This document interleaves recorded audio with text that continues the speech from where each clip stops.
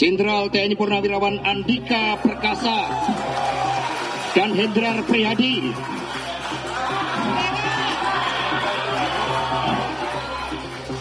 Kata Mas Prananda, Mas Hendrar Prihadi tadi membaca dedication of life-nya sempurna, jadi lolos. Selamat dan sukses kepada Bapak Ahmad Lutfi dan Gus Yasin sebagai calon gubernur dan calon wakil gubernur Provinsi Jawa Tengah.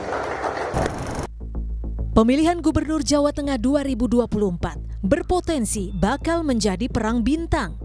Jenderal Purnawirawan Andika Perkasa yang merupakan mantan Panglima TNI dan Komjen Ahmad Lutfi yang merupakan mantan Kapolda Jawa Tengah dipastikan akan bersaing menuju pemilihan Gubernur Jawa Tengah.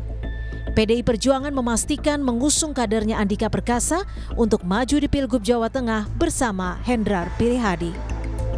Andika meyakini akan meningkatkan kesejahteraan masyarakat Jawa Tengah dan memastikan dapat bekerja sama dengan setiap stakeholder yang ada untuk menjadikan Jawa Tengah lebih baik. Bersiap melawan Ahmad Lutfi di Pilgub Jawa Tengah, Andika menyatakan jika Ahmad Lutfi juga merupakan tokoh yang dipercaya partai pengusungnya. Andika bilang hal ini dapat memperkaya pilihan masyarakat.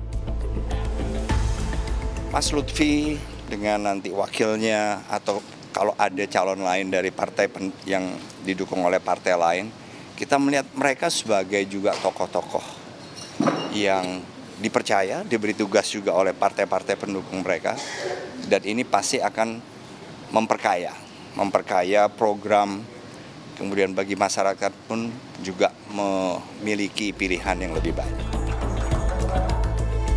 Tak hanya bintang 4 TNI yang akan maju di Pilgub Jawa Tengah, Komjen Ahmad Lutfi, bintang 3 Polri dipastikan menjadi lawan Andika untuk memenangkan hati masyarakat Jawa Tengah bersama Taj Yassin.